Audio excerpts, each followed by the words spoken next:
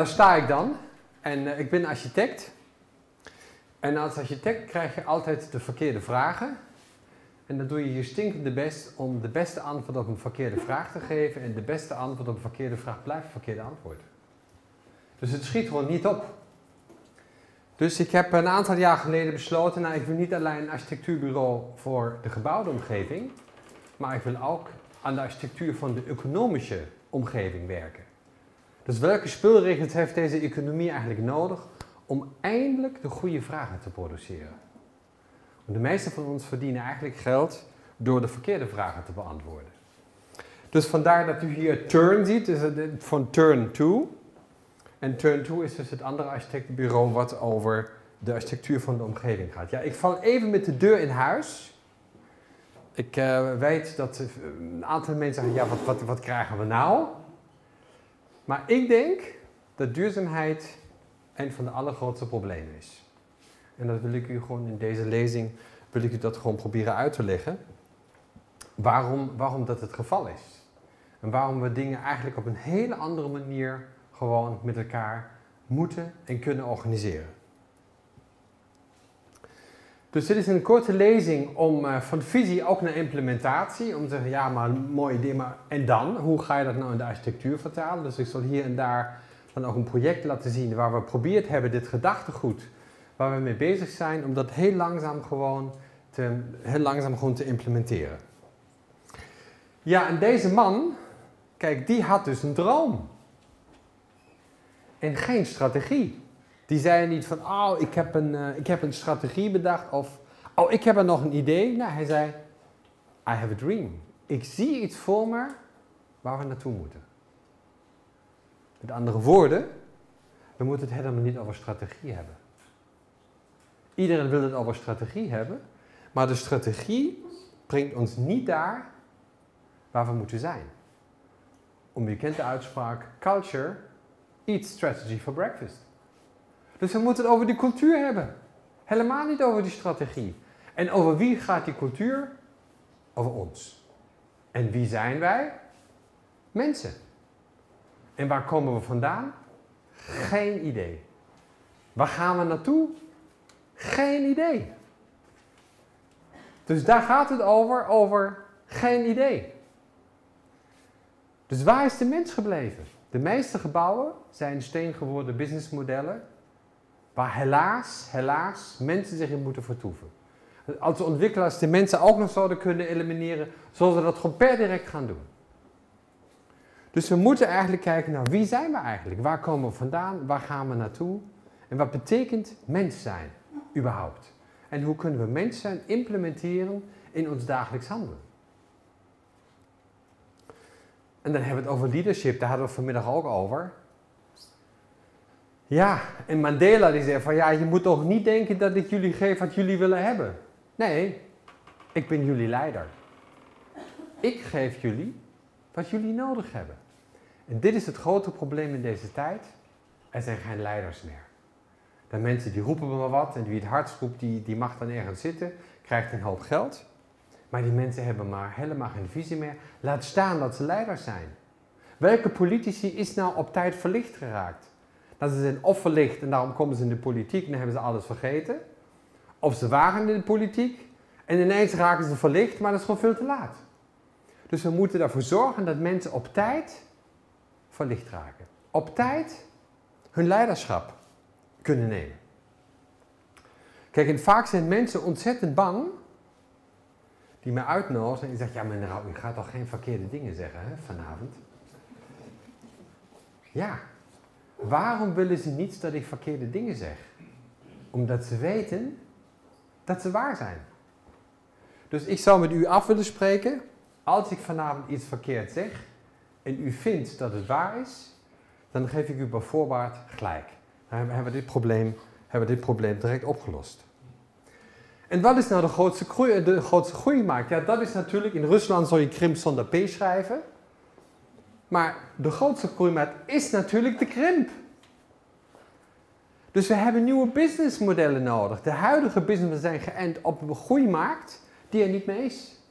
En die proberen we dan te, te projecteren op de krimpsituatie. En dit werkt natuurlijk niet. Dus hoe moeten de businessmodellen voor de groeimarkt krimp eruit zien? Dit is de krimp, dit is gewoon de nieuwe markt. En dan denk ik dat we aan de vooravond staan en misschien vindt u dat ook niet fijn om te horen, maar ik denk dat alles anders wordt. En sterker nog, ik zal eindigen met iets waarvan ik denk, het is al anders, alleen we zien het over het hoofd. En u weet ook dat toekomst altijd achteraf ontstaat, of realiteit ontstaat altijd achteraf. Als u terugdenkt, als u voor het eerst zeg maar uw partner hebt gezien, toen wist u niet dat u met die, met die persoon zeg maar 40 jaar eh, opgezadeld zou worden, bij wijze van spreken. Dat weet u nu pas. Dus u weet nu pas achteraf wanneer u uw partner voor het eerst gezien hebt. Dus de realiteit ontstaat achteraf. En dat is natuurlijk de allergrote gevaar, dat we niet doorhebben in welke realiteit we ons op dit moment bewegen. En ik zeg u één ding, en dat is 100% zeker, deze planeet wacht niet op de volgende verkiezingen. Dit is onze realiteit. Dus de echte realiteit wordt niet bepaald door menselijk handelen. De echte realiteit wordt bepaald door de context waarin wij leven. En de vraag is, hoe leven we daarin? Nou, we hadden het over politici. Nou, ik heb er maar eentje uitgekozen. U kent hem. En uh, een heel interessante man. Hij heeft toch allerlei hobby's. Daar hebben we het vandaag niet over. Maar hij zei, op 12 september 1962 zei hij iets heel belangrijks. Hij zegt, dames en heren, weet je wat wij doen? We gaan naar de maan. Ik weet niet hoe we daar komen. Ik weet niet wie daar gaat.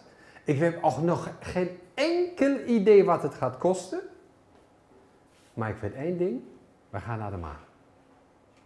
Dus alle beslissingen die we vanaf nu hier in dit land gaan nemen, moeten erop geënt zijn dat we over zeven jaar naar de maan gaan. Met andere woorden, als je niet weet wat je echt van plan bent, kun je beter niks doen. Als je namelijk niet weet waar je naartoe wilt, is de kans dat de eerstvolgende stap die je zet verkeerde richting is. En dat is wat we met duurzaamheid aan het doen zijn. We optimeren iets zonder te weten waar we eigenlijk echt naartoe moeten en waarom we die dingen doen. Duurzaamheid is niet de oplossing. Duurzaamheid is het middel. Maar dan waarom? Waar willen we naartoe? En u kunt het ook persoonlijk zien. Wat is uw persoonlijke maan? Waar wilt u naartoe over 30 jaar? Waar willen we in de architectuur naartoe? Waar willen we in deze maatschappij naartoe? Dus over die, die dingen moeten we het hebben. En dan gebeurt het, zeven jaar later, Apollo 8 gaat naar boven. William Anders, die kijkt uit het raam. En eens ziet hij dit. Hij pakt de camera en hij maakt een zwart-wit foto. Dames en heren, dit is de allereerste foto die door een mens gemaakt is in de hele mensheidsgeschiedenis van die planeet waar u, waar ik te gast zijn. Dit is het. En nog een illegale foto. En voor de insiders, kerstavond 1968, 1732, is deze foto gemaakt. Misschien toeval, maar toeval bestaat misschien helemaal niet.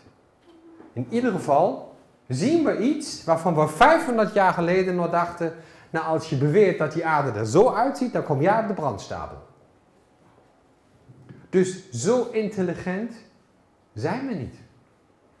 We hebben ook 3000 jaar nodig gehad om die wieltjes onder die koffer te krijgen. Hadden we ook eerder kunnen doen. Is ook niet gelukt. Dus, dit is het. En dan zien we, hij wachtte even, die oude Grieken, die waren hier ook, hè? En die Egyptenaren, hé, hey, die waren hier ook. En die Maya's, verrek, die waren hier ook. Dus iedereen was hier.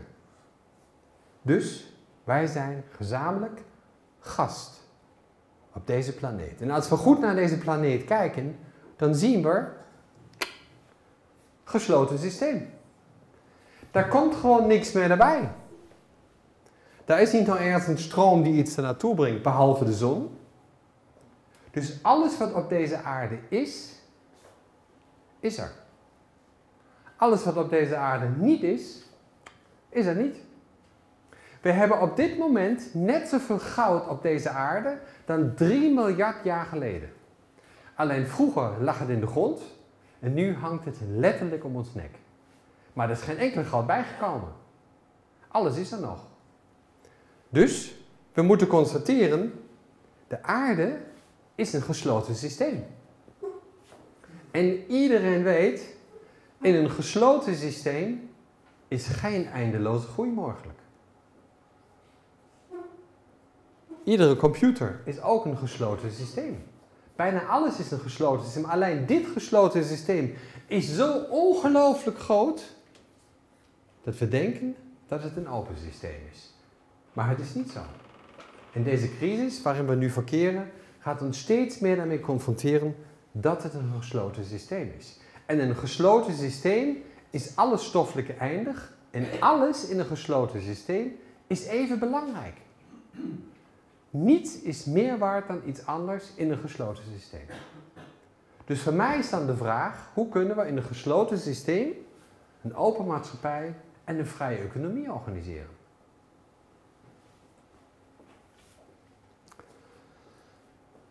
Nou, laten we dit even meenemen. En dan komen we natuurlijk bij het volgende punt. Ja, ons zijn.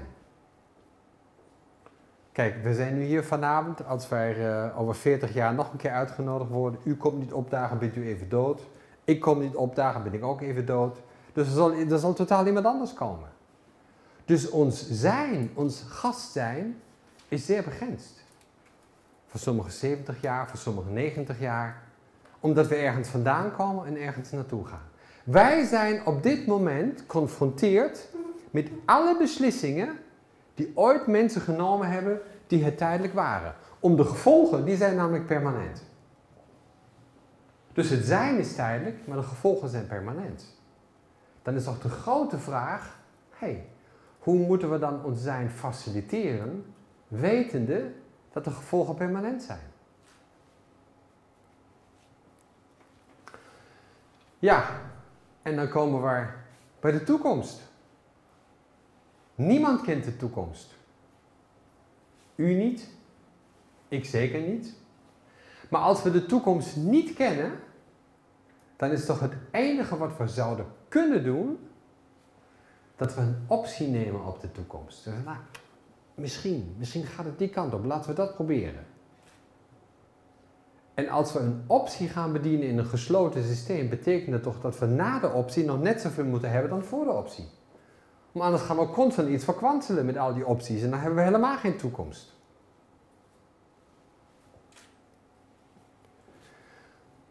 Waar zijn we mee bezig? Nou, we, zien die prachtige foto's, daar kom ik straks op terug, op die hele mijnenbouw. Wij leven in een roofbouwmaatschappij. Niet in een oostmaatschappij. Grote bedrijven die de ecologie gewoon kapitaliseren. Die waarde onttrekken uit de samenleving, daar geld mee verdienen en geen waarde toevoegen. En iedere boer weet, nou, als ik niet gezaaid heb, ja, dan hoef ik ook niet te oosten. En wat doen de overheden? Nou, die chasen met die tractor over die akker en zijn verbaasd dat ze niks op kunnen halen. Ja, als je niet gezaaid hebt, kun je ook niet oogsten. En weet u dat morgen een heel belangrijke dag is?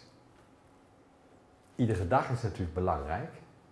Maar morgen is de eerste dag, morgen is Earth Day. En na morgen gaan wij als mensheid meer van deze aarde vragen dan de aarde voor ons gewoon in de koelkast heeft. Dus vanaf overmorgen leven we over de oogst heen die de aarde voor dit jaar voor ons heeft. Daar kunt u nagaan en deze dag, als u het een beetje volgt, ik heb een beetje gevolgd, dat was het nog in september. Nou, we zijn inmiddels in april. Dus we maken meer op dan we eigenlijk in staat zijn om te oosten. Dat moet ons toch te denken geven. Maar we denken natuurlijk niet daarover na, omdat wij dan uit onze comfortzone moeten.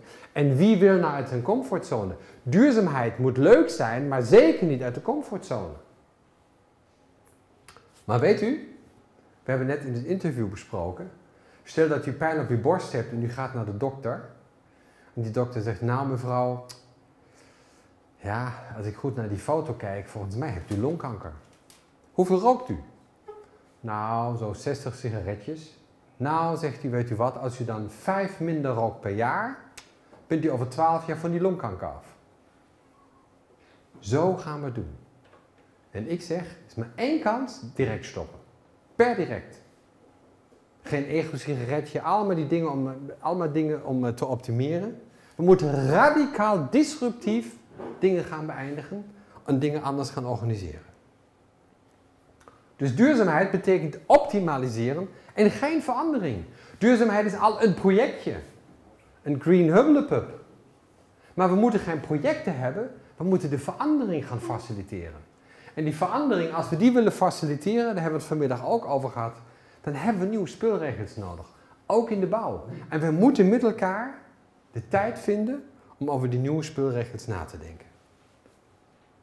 Maar wat betekent dan circulariteit? Circulariteit is ook niet het doel. Dat is de, volgende fout die we maken. Oh ja, eerst was het cradle to cradle, noodle to noodle. Dan is het duurzaamheid, nou nu is het circulariteit.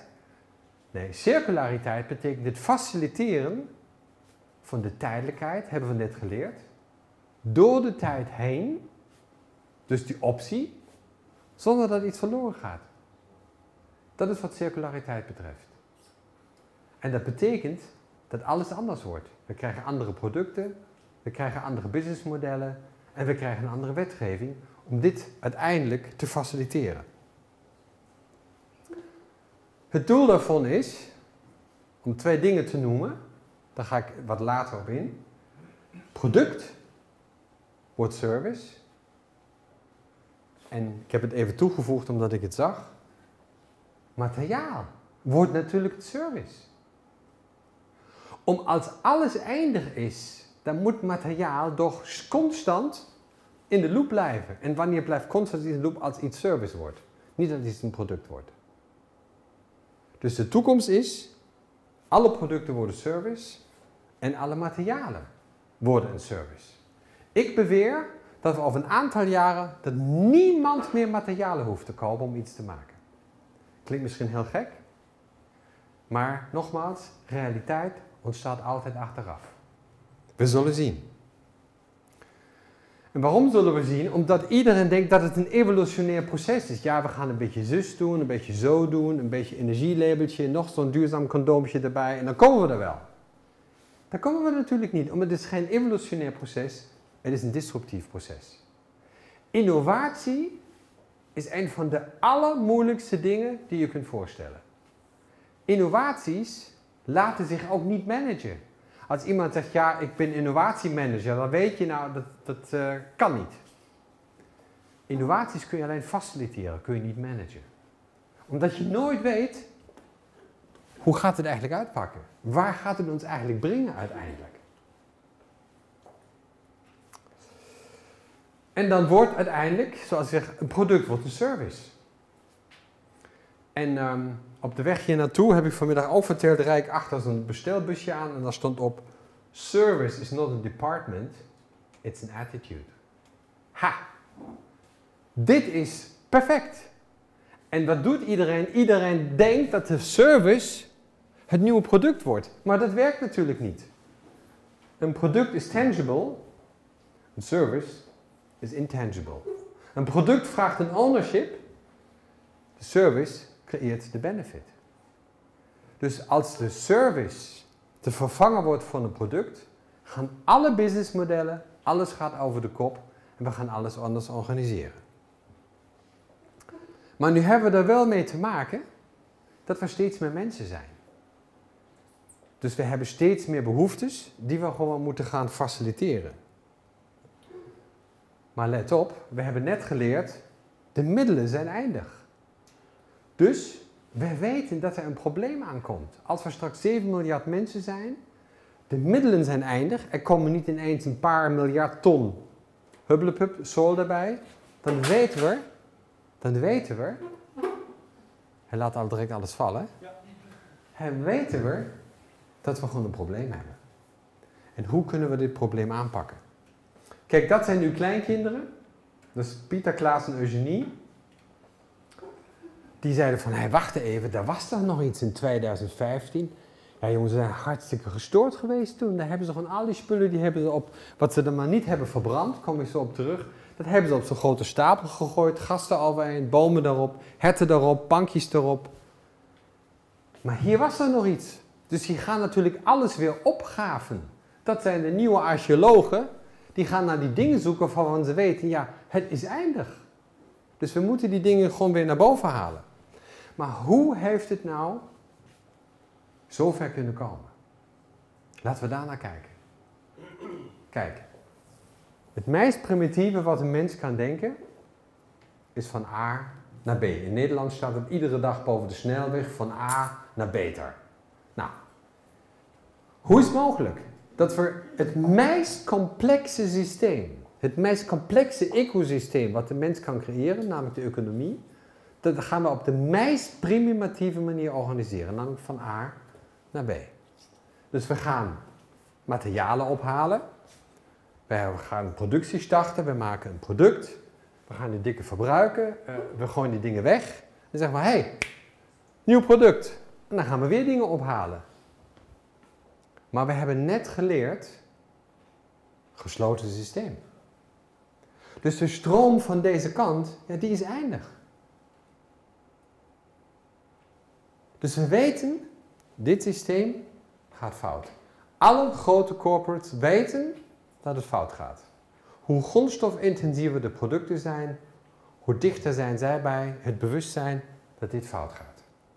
Kijk, dan hebben we aan deze kant hebben we kleine bedrijven, familiebedrijven. Shell bijvoorbeeld, kent u misschien. Zij gaan van die gaten boren, die zwarte soep naar boven pompen en zeggen: oh, 5 miljard winst. Twee voor de overheid, twee voor ons. En die andere in de portokas. Zij kapitaliseren de ecologie. Komt nooit meer terug. Dat zijn de oude shells. Hebben nog steeds last van. Aan de andere kant hebben we de nieuwe shells. Veel gevaarlijker. Die staan hier. En zij noemen zich recyclingsbedrijf. Afval bestaat niet.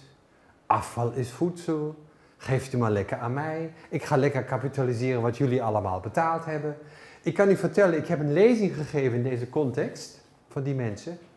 Nou, ik dacht dat ik op de autobeurs was. Ik heb nog nooit zoveel zwarte Bentleys en Mercedes en, en Rolls-Royce op, op, op één voetbalveld zien parkeren. Die lagen zich helemaal suf. En waarom? Zij bedrijven winstmaximalisatie ten koste van grondstoffen. En die hele marketing gaat over ten gunste van grondstoffen. Dat is helemaal niet waar. Wat doen zij? Nemen die producten, 68%, 67% en zeggen ze nou, het wordt toch nu een beetje duur hè, om het daar weer uit te halen. Dat is gewoon niet interessant. Dan werkt ons businessmodel niet meer. Weet je wat we doen? Die rest gooien we gewoon in die oven, dan zijn we er vanaf. Winstmaximalisatie ten koste van grondstoffen. En dan belandt dit in een afvalverbrandingsinstallatie. En dan heeft de Nederlandse overheid de lef om te zeggen, nou ja, afvalverbranding, dat klinkt niet zo sexy. We noemen het thermisch recyclen. En welke energie komt uit het feit dat we thermisch recyclen? Is groene stroom. Dus ik hoop dat niemand in deze zaal zit die groene stroom koopt. Het is gewoon totale belazerij. Groene stroom betekent gewoon dat we iets wat we finaal kwijtraken in het systeem. Dus ik zeg, dit is een grondstofcrematorium. Dat is gewoon een eindoefening. We zijn gewoon klaar. Dus we gaan hier voor altijd iets vernietigen wat nooit meer terugkomt in het gesloten systeem. En we gaan ons allemaal op de schouders klappen hoe fantastisch wij dat dus allemaal doen. Die recyclingsbedrijven, ik wil die namen in het blauw-wit, ik wil het allemaal niet noemen. En natuurlijk gaan ze het ontkennen, omdat het hun businessmodel is. Zij gaan nog daarmee hun geld verdienen. Goed. In een gesloten systeem zijn twee dingen die oneindig zijn. Dat is de energie van buitenaf. Nou, we hebben daarboven een gigantische reactor hangen. Nou, die draait al 3,5 miljard jaar. heb er net nog buiten even gebeld. Ik heb de bevestiging, het draait nog een keer 3 miljard jaar. Dus we hoeven ons geen zorgen te maken. En van binnenuit de data's.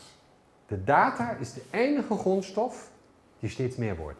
Daarom gaat iedereen over die, grond, iedereen over die data's vechten. Er was een statistiek dat wij over zeven jaar dat de dataverkeer, dacht ik, zich 14voudigt.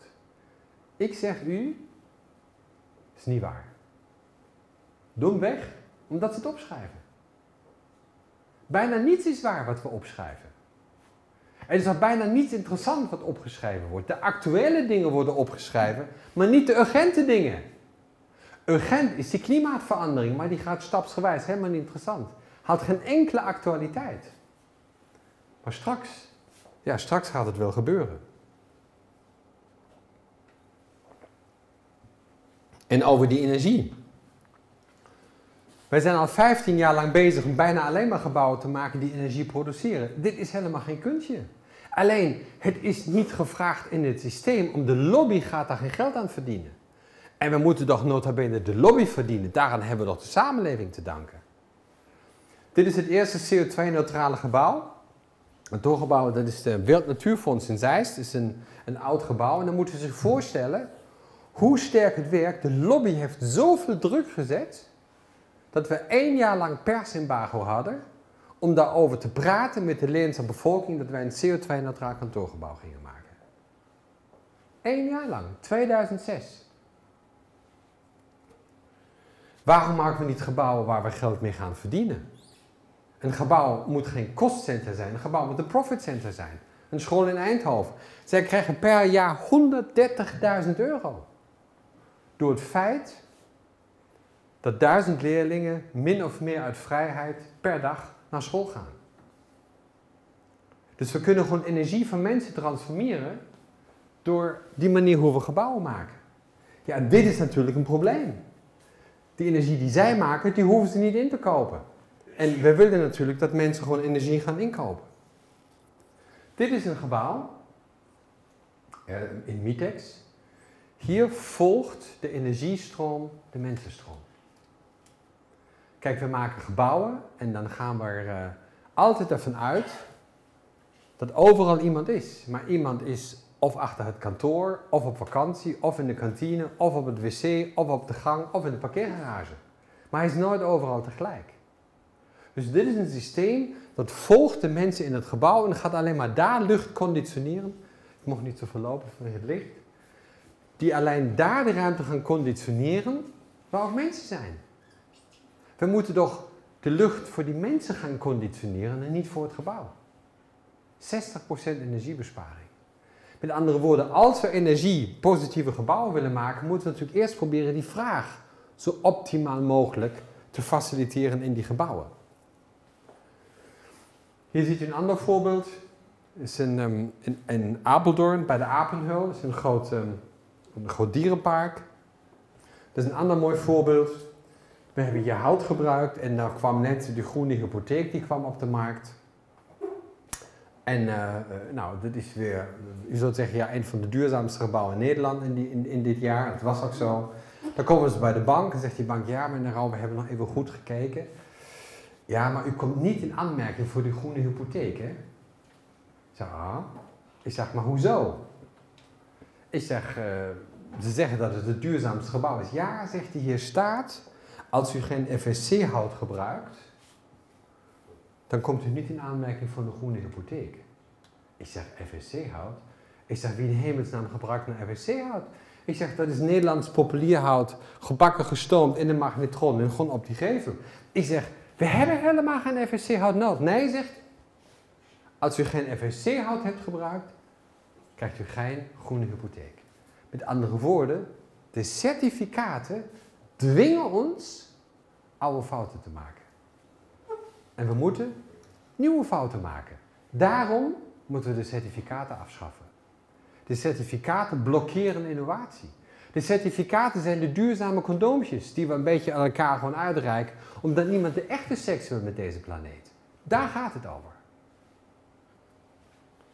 Dit is een gebouw in Lyon, dat is het eerste gebouw in Frankrijk, wat natuurlijk ook meer energie produceert dan ze daadwerkelijk nodig hebben. En dit begint natuurlijk met een ICT-concept. Dus je gaat als architect veel dieper in de opgave dan alleen maar een gebouw maken. Je begeleidt de opdrachtgever op een reis. Je bent zijn gids.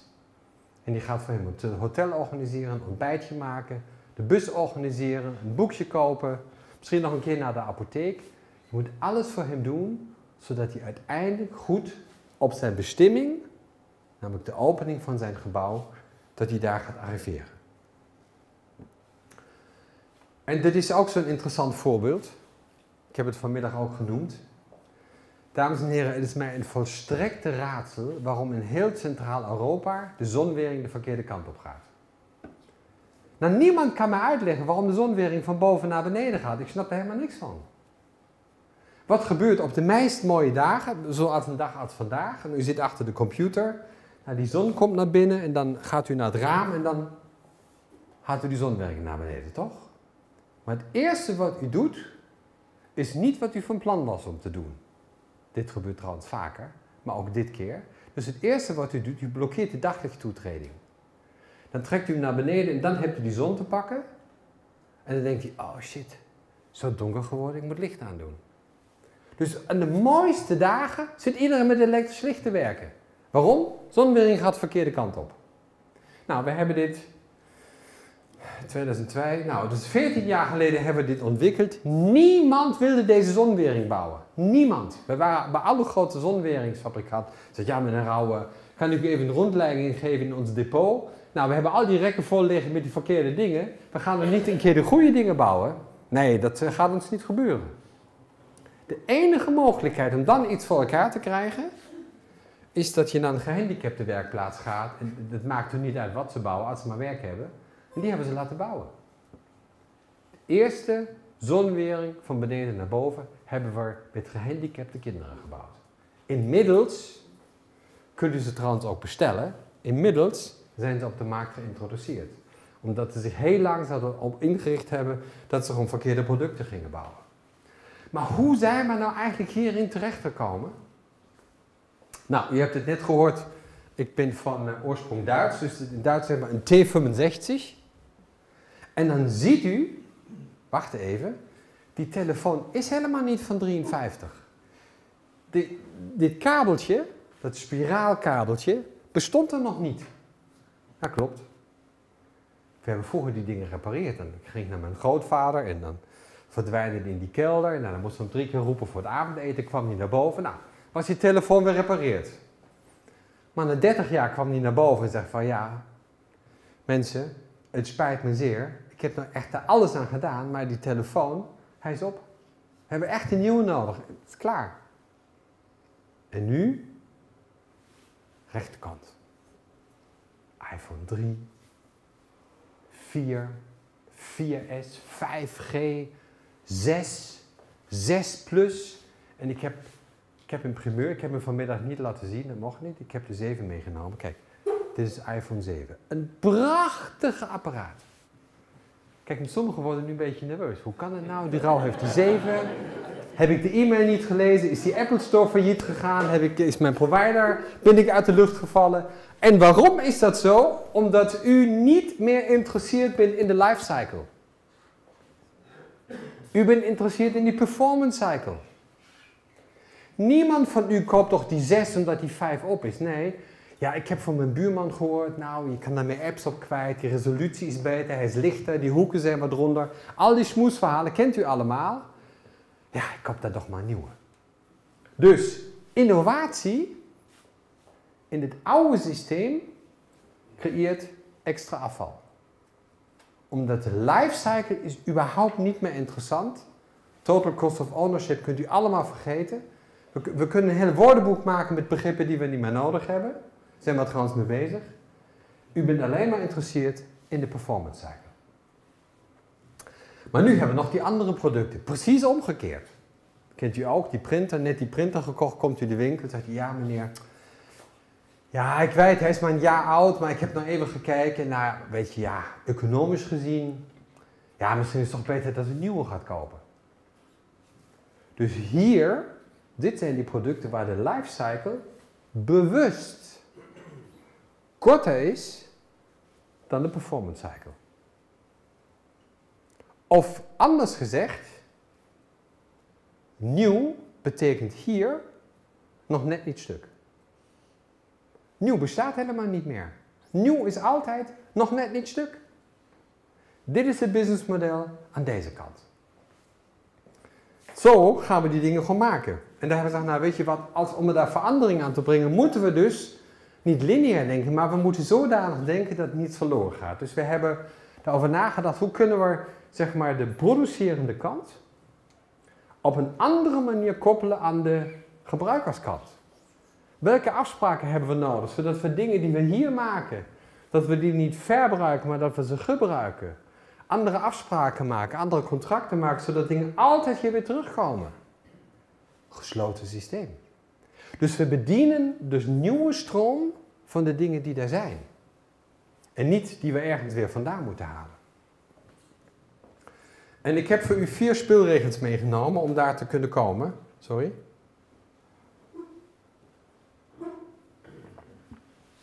Nou, die is natuurlijk direct pijnlijk. Zeker als je geen boeddhist bent.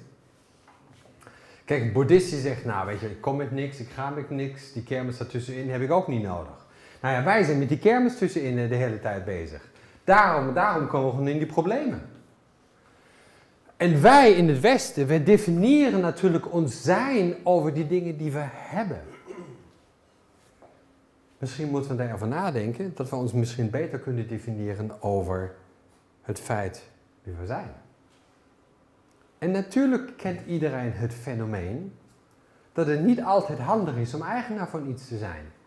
Forget ownership. Kijk, als u, op, uh, als u naar New York gaat vliegen, dan gaat toch niemand van u op de website van Airbus kijken wat zo'n A320 kost. Zegt ja, veel jongen, dat is veel te ingewikkeld. Uh, hoeveel kerosine moet erin? Uh, heb ik de stewardessen? Is die captain op tijd? Klopt die bandendruk? Weet je wat? Veel te ingewikkeld. Cheapticket.nl of wat is in, in België? Ticket koop. Ik koop de performance. Om ik voel op mijn klompen aan. Dat is een beetje Nederlands ik ben totaal overvraagd om eigenaar te worden van, de, van het toestel. Dus ik wil daar met mijn handen van afblijven. Maar vervolgens hebt u misschien een televisie thuis. Ik denk dat er zijn nog mensen die televisie kijken, toch? Ja, vast wel.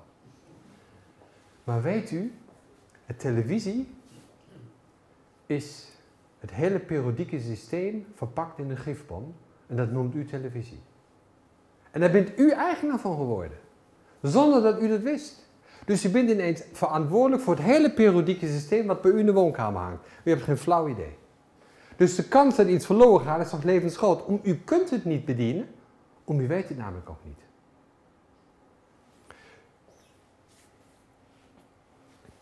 Dus wij denken, we willen geen licht meer, we willen, we willen geen lamp meer, we willen licht, we willen geen stoel meer, we willen zitten, we willen geen auto meer, we willen mobiliteit. We willen geen vliegtuig, we willen vliegen. We willen geen wasmachine. We willen gewoon wasbeurten hebben.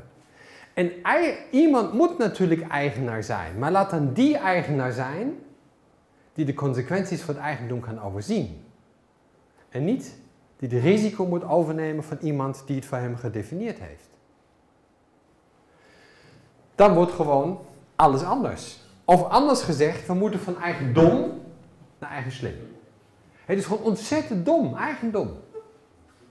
Maar hoe kan eigendom gewoon eigen slim worden? Ja, door de service te vragen en niet met eigenaarschap. Het vliegticketje te kopen en niet het vliegtuig. De wasbeurten te kopen en niet die hele wasmachine. Daar kom ik straks nog op terug. En u ziet natuurlijk in de mobiliteit, wij zijn al lang zover. Alles is al anders. Die jonge generatie die zeggen, ja jongen, al die 4 liter cappuccino die ik moet drinken voordat die auto in die garage klaar is, zonder van mijn tijd. Geef mij mijn mobiliteit. Het boeit me helemaal niet of mijn vriend een Ferrari of een Opel Manta heeft. Helemaal niet interessant. Ik ben hem verliefd, niet op die auto. Daar komen hele andere waarden naar boven. En dat is voor de generatie van ons, is, dat natuurlijk, is het natuurlijk gewoon veel moeilijker. En dan komen natuurlijk hele interessante dingen naar boven, ook over afschrijving en over eigendom. Kijk, ik zie mensen die hebben een prachtige horloge. Bijvoorbeeld deze mevrouw. Nou, iedereen heeft, volgens mij heeft iedereen een prachtige horloge. Niemand van u heeft er ooit over nagedacht hoeveel jaar u erover doet om die horloge af te schrijven. Tuurlijk niet. Om u vindt hem waardevol. Om heeft u op een bepaald moment, op het goede moment, op het goede plek gebracht. En dat weet u te waarderen. En daarom gaat u er niet op afschrijven. Dingen die we waarderen, hoeven niet op af te schrijven. Als ik u zou vragen, die vraag kwam vanmiddag ook. Wat is het meest waardevolle wat u hebt in uw leven? Waarschijnlijk uw kinderen. Maar schrijft u op uw kinderen af? Jongen, die kosten een poen, dus niet te geloven. Ik dacht 350.000 euro tot de 25ste. Daar gaat niemand over nadenken. Gaat u over uw kinderen afschrijven? Nee. Het uw eigendom? Nee. Wat is het meest liefste wat u hebt? Ja, de kinderen. Ja, hoe zit het nou? Dus we hebben het meest waardevolle, daar hoeven we geen eigenaar over te zijn. We hoeven er niet op af te schrijven. En wat gaan we de economie doen? We willen eigenaar zijn en zo snel mogelijk over die handel afschrijven, omdat we weten dat die niet waardevol is. Stap 2. Als de klant dus zegt, ja, ik wil alleen die service en niet het product, dan moet natuurlijk het product in eigendom blijven van die producent. Die heeft die hele schande veroorzaakt. Dus laat hem ook dan lekker met die schande omgaan. Met andere woorden, als de producent shit maakt, krijg je shit terug. Als je goede dingen maakt, krijg je goede dingen terug. Als je een product maakt in vorm van een grondstoffendepot en de service is niet meer gevraagd, ja, dan krijgt hij de grondstoffen terug uit het depot wat hij georganiseerd heeft. Dus hij verzekert zich door de grondstoffenstroom van zijn eigen producten. We hebben net twee dagen geleden met Philips licht as a service gelaunched in Benelux. Dus u kunt nu licht kopen en hoeft geen lampen meer te kopen. Schiphol krijgt licht en geen lampen. Dus die grote corporates, die zijn zover om dit gewoon te organiseren. Stap 3. Wanneer wordt een grondstof afval? Wat is eigenlijk afval? En eh, nou, net dat u, laten we zeggen, u bent zo geschrokken over de televisie dat u vanavond thuis komt en u flikkert dat ding gewoon uit het raam. Hij valt naar beneden, ligt op de stoep. En dan komt beneden iemand langs en zegt, ja, kun je even die troep een beetje opruimen? Wat is dit toch hier? Twee seconden eerder was die televisie, twee seconden later is die afval. Wat is daar nou gebeurd? Ik denk, afval is een grondstof zonder identiteit. Afval is een grondstof die in de anonimiteit gekomen is. En een recyclingsbedrijf die doet niets anders dan zegt, ja, oh ja, dit is glas en uh, nou, dit is metaal, lithium, weet ik wat allemaal. Dus hij kent aan de afval weer een identiteit toe en daardoor is het een grondstof. Als je geen paspoort hebt en je komt in deze situatie, dan ga je of wat drinken of je hebt geen rechten meer. Dit is wat we met grondstoffen doen. En we gaan het ook met mensen doen. De auto-industrie is er al heel verder dan die bouwindustrie. Die weten exact waarom deze schroef in die auto zit. Hoe lang die meegaat, uit welk materiaal, uit welk land die komt, wat die gaat kosten, hoe de ontwikkeling is, wanneer die eruit moet gaan. Ze weten alles. Alles heeft in die auto een identiteit. Daarom gaat toch niks verloren. En kijkt u maar naar de gebouwen die we maken. Nou, u kunt er zo miljoenen van containers uitdelen en alles uit die gebouwen halen. Niemand heeft het door dat we iets missen. Omdat we gebouwen maken als businessmodellen en niet in eerste instantie om de behoeften van mensen te faciliteren. En dan komen we bij het modulaire gedachtegoed. Kijk, dit is een telefoon. Die wordt modulair, kun je dingen eruit halen. Nou, ze hebben een nieuwe camera, dan moet je niet het hele telefoon uitwisselen dan ga je de module van die camera eruit halen. Of je hebt een chip wat een groter geheugen heeft, nou dan ga je die chip van het grotere geheugen uitwisselen. Dus u ziet, de dingen gaan veranderen. En als alles service wordt, dan wordt de innovatiecycli, die worden langer en die sprongen worden hoger. Kijk, stel wij hebben zo'n smartphone, dan zegt Apple, nou wacht even, als ik nou die 7 op die 7, Laten we een keer zien. Ongelooflijk klein apparaat. Prachtig hè? Zo klein is die geworden. Dus nou, als we die zeven op de markt brengen, nou, dan komen zoveel zes terug en zoveel vijf. Dan zitten die en die grondstoffen in. Weet je wat, we wachten nog drie maanden. Dus die cycli wordt langer. En die sprongen worden hoger. Om een van de boosdoeners is natuurlijk, zijn die korte cyclies die we hebben. Om, dan, maakt, eh, dan wordt die camera beter en dan moet je ineens een hele nieuwe smartphone gaan kopen. Dit is een gebouw, daar wil ik iets, wat iets uitgebreider bij stilstaan. Dat is het nieuwe hoofdkantoor van Alliander. Het is een grote netwerkorganisatie in Nederland. En uh, die hebben een aantal keer een, een, een, een, vraag uitgezet zeggen, kijk, eigenlijk kunnen we geen vraag stellen, maar als we een vraag stellen, wordt het verkeerde vraag. Nou, dat is natuurlijk een prachtige vraag, als je dat uh, durft te doen. En wij hebben gezegd, nou weet je wat, we maken voor jullie een circulaire huisvesting. We hebben in dit gebouw 80% van alle materialen hebben een tweede leven gekregen. Dus we hebben maar 20% nieuwe dingen erbij moeten kopen. En dat betekent, het wordt goedkoper. Het wordt niet duurder. Alleen, we moeten dingen anders faciliteren. Trouwens, ze werken 1350 mensen. En het is een energie, uh, energiepositief gebouw. Dit was er als we daar langs kwamen. Dit is een nieuwe gevel geworden. We hebben de kleren van alle medewerkers ingezameld. Die hebben we naar Frankrijk gestuurd. Daar heb je een bedrijf, die maken het, kleren, maken die isolatiemateriaal. Alle gevels zijn geïsoleerd door oude kleren van de medewerkers. U ziet hier een van die binnengevels.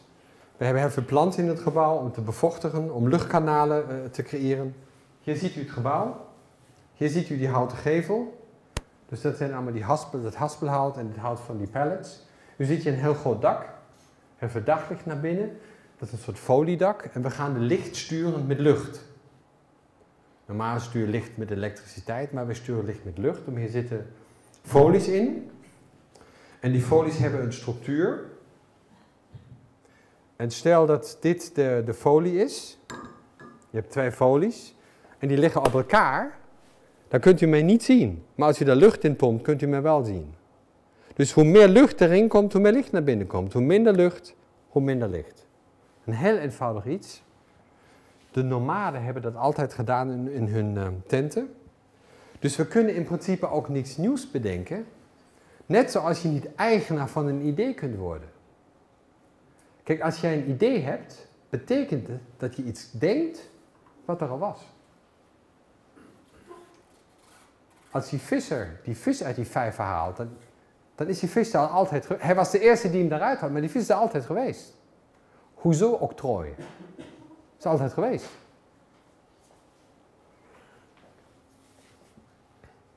Hier zie je het gebouw van de buitenkant en de vormgeving van het dak is eigenlijk de luchtstroom. Dus we hebben daar een groot dak overheen gelegd van 6.500 vierkante meter. En dan hebben we ons de vraag gesteld, nou wie kan nou voor ons het beste dit dak uitwerken? Dan ga je naar een constructeur, nou die begint te rekenen. Nou jongen, daar komt een staal in het dak, dat wil je gewoon niet weten. Dus we hebben gezegd, nou wie is nou in het meeste geïnteresseerd in een minimale afmeting van staal, het minimale gewicht en maximale veiligheid? Die moet je hebben. En wie is dat? De kermisbouwer. Die moet die hele, die hele handel moet hij iedere weekend afbouwen, iedere weekend op. Dus je gaat daar goed over nadenken. Hoeveel kilo's moet ik nou eigenlijk iedere weekend naar boven brengen? Dus we hebben met een achterbaanbouwer uit België hebben we dak ontwikkeld. 35% minder staal dan we eigenlijk hadden. Dus je kiest iemand die een andere perspectief op de realiteit heeft en die creëert een heel grote benefit. Dus het dak is vormgegeven van een achterbaanbouwer. Dit is het geweest. Ja, een beetje een soortje. En ze hebben gezegd, kijk, we kunnen nu kiezen voor nieuwbouw. Of we kunnen zeggen, we gaan dit ensemble fit maken, klaarstomen voor de 21ste eeuw. Dit hebben ze, dit hebben ze gedaan. En dit krijgen ze daarvoor. Dus je ziet, dit is vroeger tussen die gebouwen. En dit wordt nu in het gebouw, omdat we een groot dak eroverheen gebouwd hebben. Alle sanitair, alle deuren, alle verlaagde plafonds, alles is eruit gehaald, schoongemaakt, geverfd. Alles is weer teruggekomen. Maar in principe een nieuw gebouw. En ze krijgen een grondstofpaspoort. Dus we weten exact hoeveel staal, hoeveel aluminium in dit gebouw zit. We kunnen de waarde eraan toekennen. En dat betekent, zij schrijven nooit meer naar nul af. Zij schrijven af naar de maximale grondstofwaarde in het gebouw. Om die is namelijk gedocumenteerd, die is geïdentificeerd.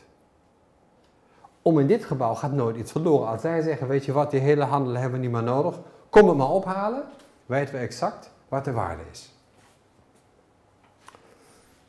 Dit is het geworden. Nog een ander project, ga ik niet zo op in, maar dat is het gemeentehuis in Brummen.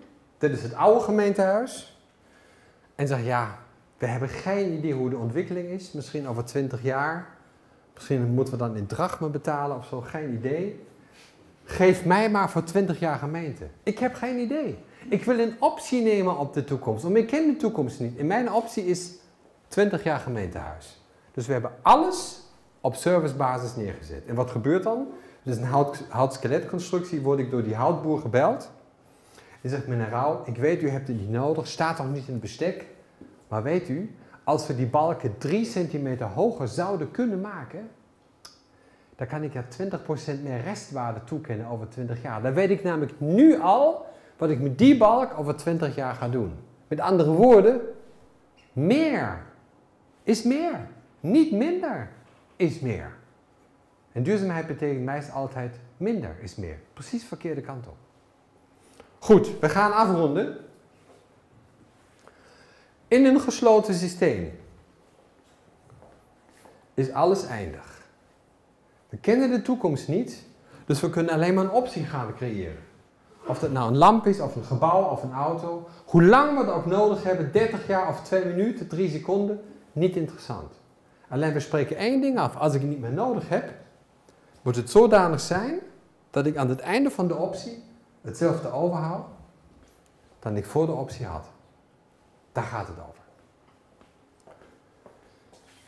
Maar nu, um, dus dat was product is service. U ziet hier een aantal voorbeelden. Dit is het architectenbureau. We hebben vijf jaar geleden Philips uitgenodigd. Zeggen, nou laat die doosjes maar buiten staan. Ik wil 300 lux, 1260 uur per jaar. Als jij denkt een lamp ervoor op moeten hangen. Nou, oké. Mijn zegen heb je. Is goed. Nou, dan komen ze met het lichtplan. Daar heb ik gezegd, nou weet je wat? En nu de volgende stap. De energie. Die is ook voor jou. Hij zegt, hoezo? Ja, ik zeg, ik wil geen energierekening. Ik heb geen energierekening op een kantoor. Wat zegt Philips dan? Oh, dan moeten we nog maar even naar het ontwerpbureau terug. Dan gaan ze, komen ze weer terug.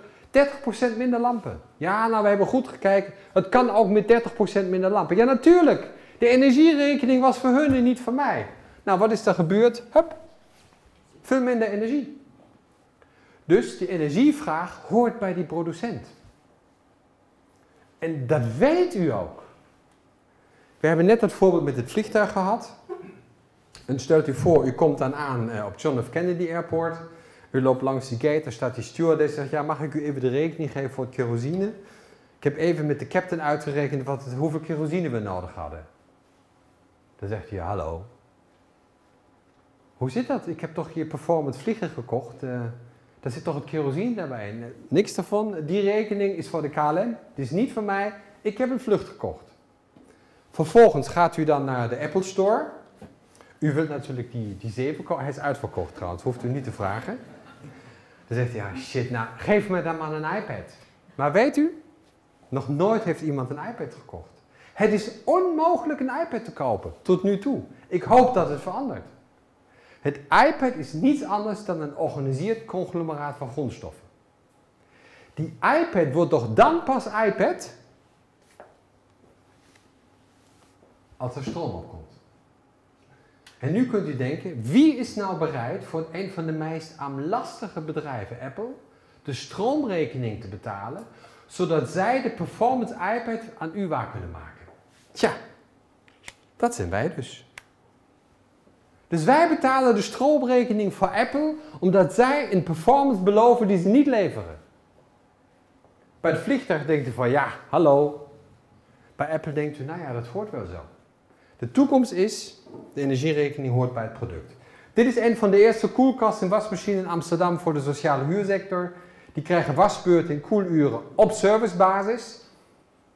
Dan vraagt de firma Bosch, zegt meneer Rauw, ja, maar wat gaat dan nou gebeuren als het, als het apparaat stuk gaat?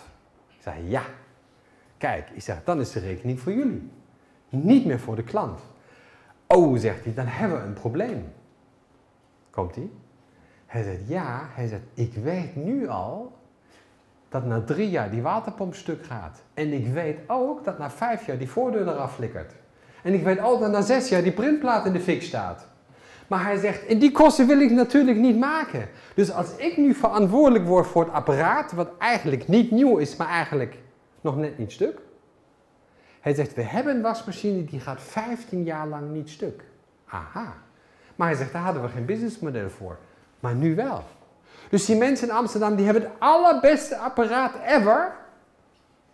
Omdat de consequenties van Bosch zijn en niet voor de klant. Kijk, en ik was laatst bij de ChristenUnie. En die vroeg, ja meneer we hebben een beetje een probleem met duurzaamheid. En onze, ja, we weten niet goed in discussie te komen. Ik zeg, kijk, jullie zijn de enige ervaringsdeskundige die weet wat het betekent op performancebasis aan te besteden. Hij zegt, het staat, jullie hebben zo'n vakbondblad, zo'n heel dik boek. Helemaal aan het begin, daar heeft iemand licht besteld en geen lamp. Dus de eerste aanbesteding is gewoon op performancebasis geweest. Dit heb ik even snel toegevoegd, daar ga ik ook even snel doorheen gezien de tijd. De toekomst is, en we werken ook met een autobouwer aan, je gaat nooit meer materialen kopen om iets te maken. En waarom? Kijk, wij hebben nou de hele tijd, we zijn blij dat we een beetje gaan snappen, over die lemniscatio gesproken. De producent, de gebruiker. Nou ja, dan gaan we kijken, hier komen die dingen weer terug, of ze blijven hier nog in de loop. Prima. Maar dit is natuurlijk nog geen verandering van de keten. Daar maken twee met elkaar een afspraak. En wij proberen nu achteraf in die keten nieuwe afspraken te maken. Wij denken, we moeten die hele keten anders organiseren. Namelijk, de keten bestaat aan het begin. Dat is de aarde. En rechts de mensheid. En hier tussenin gaan we ons gastzijn organiseren. Dat betekent als we iets van de aarde nemen, van de mijnen, dan moeten we afspraken maken dat die materialen in de wereld gaan en dan iedere keer afspraken maken als iemand niet meer nodig heeft, dat het gewoon teruggaat. Dus de mijn, kijkt u maar daarachter, is eigenlijk voor, bijvoorbeeld een faillissement. We weten exact wanneer die tent gewoon leeg is. Daarom hebben we al die geopolitieke problemen om die mijnen heen, omdat het gewoon een doodlopend business is. Als materiaal service wordt en zij lenen het materiaal aan de wereld. En die wereld gaat daar iets mee doen. En die afspraken zijn zodanig dat we in de voorwaartse richting de value creation chain hebben, in de terugwaartse richting hebben we de value sustain change, chain. En die twee, die moeten natuurlijk met elkaar in balans zijn. Daar wordt materiaal service. Dan gaan we allemaal die dingen hier gebruiken en dan wordt alles anders. Nou, dat zal een hele aparte lezing zijn. Ik heb het meegenomen omdat ik zag die mijnen. Dames en heren, ik denk dat dit de toekomst wordt. Alles wordt anders. Nog één voorbeeld. We zijn gevraagd door Schiphol om eh, een, een groene terminal te maken. Ik zeg, de groenste terminal is de terminal die je niet bouwt. Oh ja. Maar ja, maar hebben nou ja, maar als we nou een terminal willen maken als een innovatieplatform, dan wordt die natuurlijk een machine. Dan wordt die een dockingmachine voor vliegtuigen. Daar wordt gewoon alles anders. En kijkt u naar de cijfers en dan weet u, we zijn niet aan het optimaliseren, we zijn aan het transformeren. Alles boven de 10% is transformatie en alles onder de 10% ongeveer is optimeren. Dus u ziet hoe grote stappen wij kunnen maken als we die dingen gaan veranderen. En ik wil nu afsluiten. Ik heb aan het begin iets gezegd wat niet helemaal waar is, maar daar had ik u voor gewaarschuwd. Ik heb gezegd, niemand kent de toekomst. Ik denk dat dat niet waar is. Ik denk dat er één discipline is die de toekomst wel kent. En dat is de kunst. Als u achteraf naar de kunst kijkt uit de afgelopen eeuw, dan ziet u al in de kunst iets opdagen wat later een stukje maatschappelijk bewustzijn wordt. Dus de kunst heeft op een of andere manier de mogelijkheid intuïtief iets uit de toekomst zichtbaar te maken. En daarom wil ik graag afsluiten, als ik nou ook het geluid erin doe.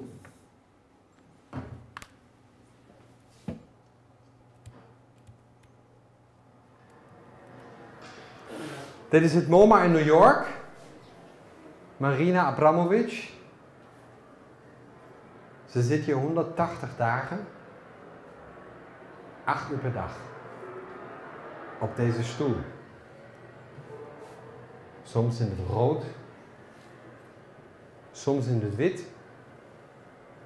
En zij, zij is de profeet. En de mens komt, komt op audiënt bij de profeet. Sommigen kijken heel kritisch, sommigen zitten daar twee minuten, sommigen zitten daar drie uur. Maar ze zijn op audiënt bij de profeet. Niet iedereen snapt het. Sommige mensen hebben twee dagen in de rij gestaan om één keer het gevoel te hebben bij de profeet op audiënt te komen. En dan komt deze man. Zij weet nooit wie de volgende is. En deze man is haar ex-partner. Acht jaar lang niet gezien. Kijkt hoe comfortabel hij met zijn benen is. En kijkt u nou hoe zij kijkt als ze hem ziet. En kijkt u nou wat nu gebeurt.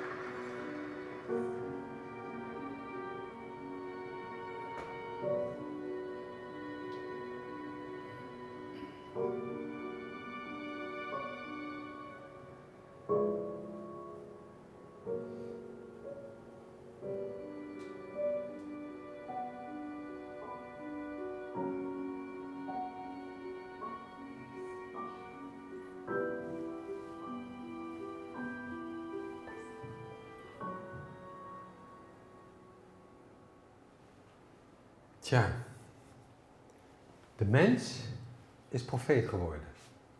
En de profeet is mens geworden. Zou dat misschien de toekomst zijn? Ik denk dat we aan de vooravond staan van een zijnsrevolutie.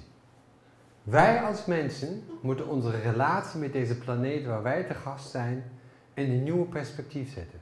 We moeten letterlijk alles op zijn kop zetten we staan aan de vooravond van een zijnsrevolutie. Om ik denk, we zijn niet mensen op een spirituele reis, maar we zijn spirituele wezens op een menselijke reis. Dank u zeer.